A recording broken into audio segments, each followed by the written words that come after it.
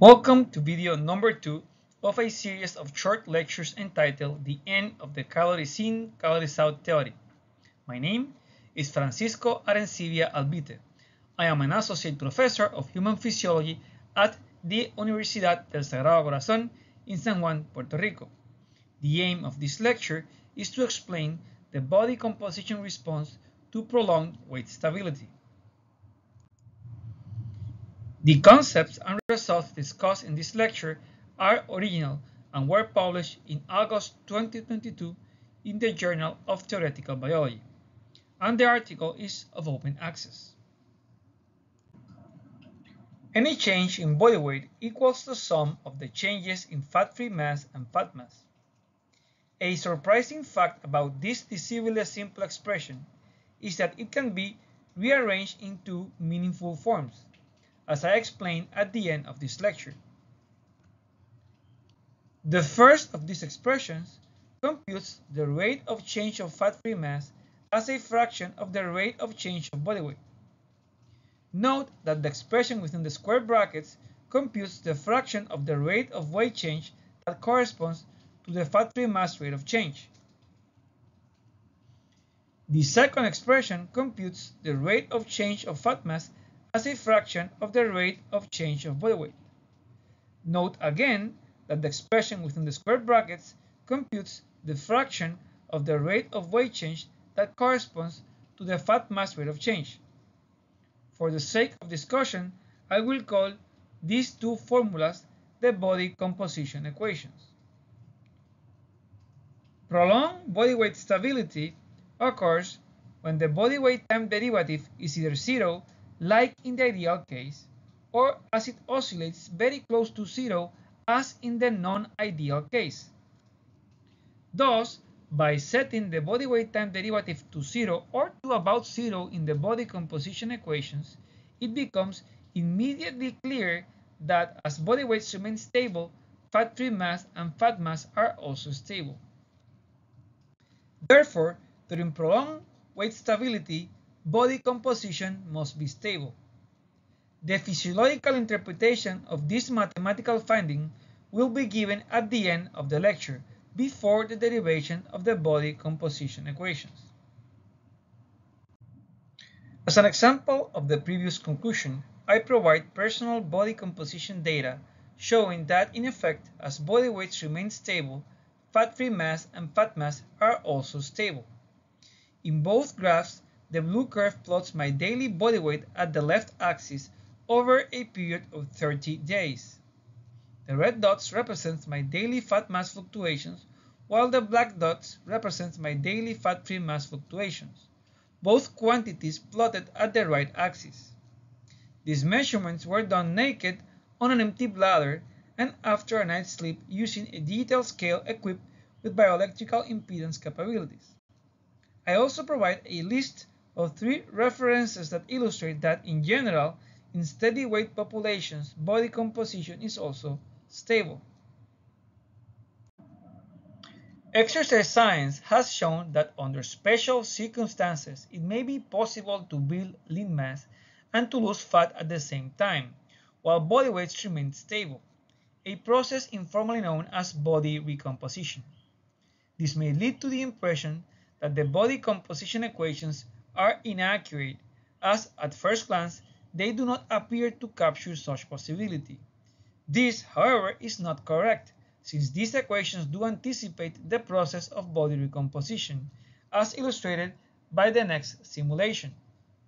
In this computational experiment, the body composition equations model a hypothetical subject that combines a slight overfeeding with a high dietary protein and a resistant training program.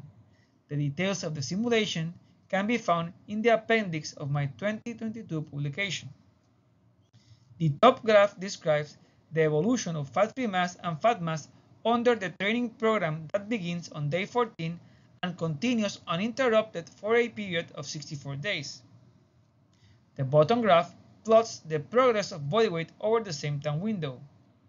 Note that as the training program begins on day 14, fat-free mass increases as fat mass decreases, with these mass changes being of nearly identical magnitude as revealed by the body weight time course.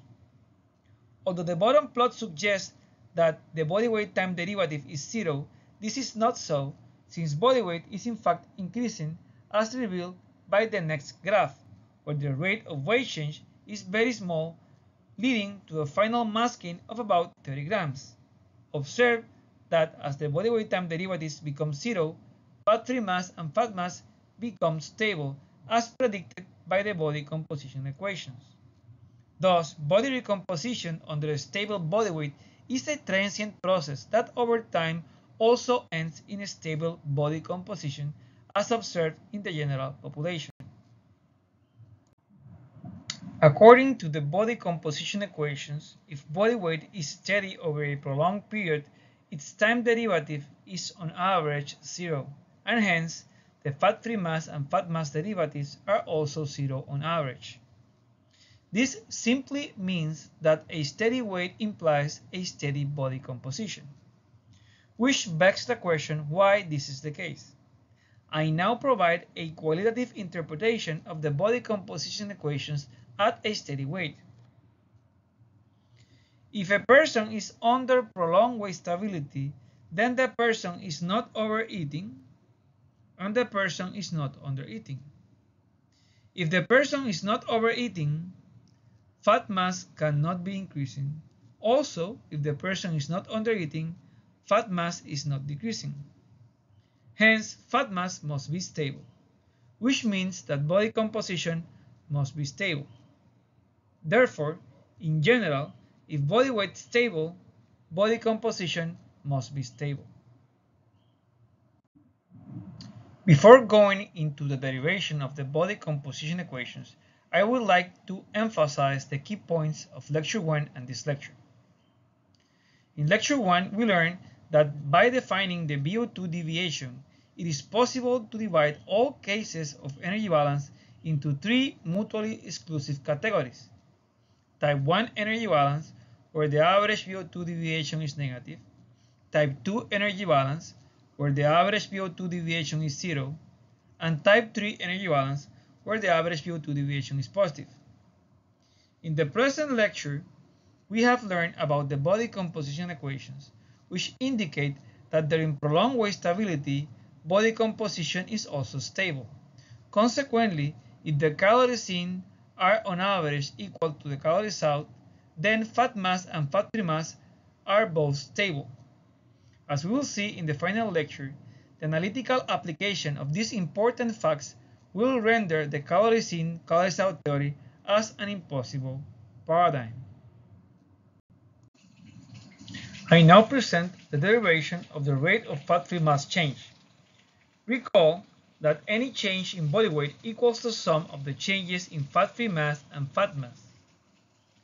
Multiplying and dividing the left-hand side by the fat-free mass change produces the following expression. Next, we multiply the numerator and denominator of the fraction within the square brackets by the reciprocal of the fat mass change. This operation leads to the following expression.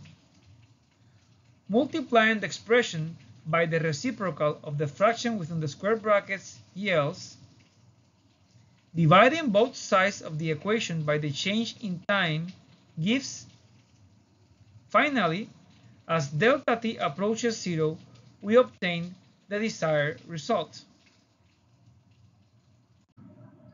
At last is the derivation of the rate of fat mass change.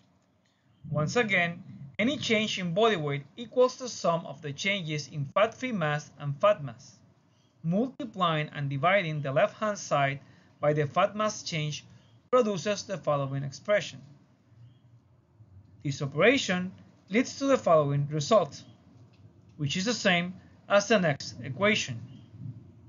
Multiplying by the reciprocal of the expression within the square brackets yields dividing both sides of the equation by the change in time gives finally as delta t approaches zero we obtain the desired result. This concludes the presentation. Thanks for watching and I see you in the next lecture.